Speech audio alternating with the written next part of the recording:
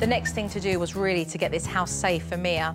So I took the family shopping to get some baby-proof items. However, little Max wasn't in the mood to go shopping.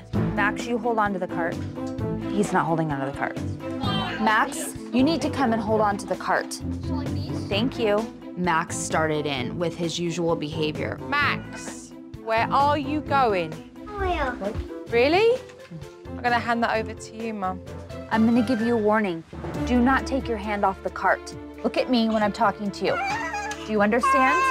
He wasn't listening, wasn't following directions. Uh, he's gone again. Do I tell him he's gonna have a timeout? Like I just warned him. Mom, plug your phone. Max, I need to talk to you.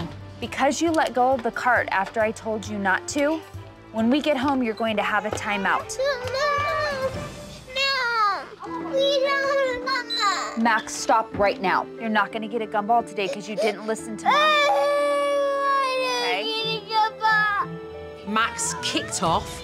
He was screaming at the top of his lungs. I want a gumball. And Mum and Dad were beside themselves with embarrassment of how to deal with this situation. I want a gumball. If we would have given him the gumball, then that would let him know it's okay that he, he can let go of the cart and not follow directions. Come back to the cart.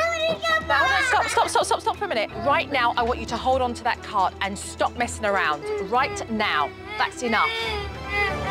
Jen and Tony found what they were looking for, but they still need to follow through with discipline when they got home.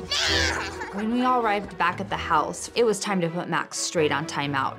I am putting you on a timeout because you kept letting go of the basket and you did not listen to me. And I need you to stay here for four minutes. No. Get a timer? Did you set the timer? We saw Jen implement a timeout with Max. And he tested her on that as well. It got really ugly for a while, but having Jo there allowed me to carry through and not give in.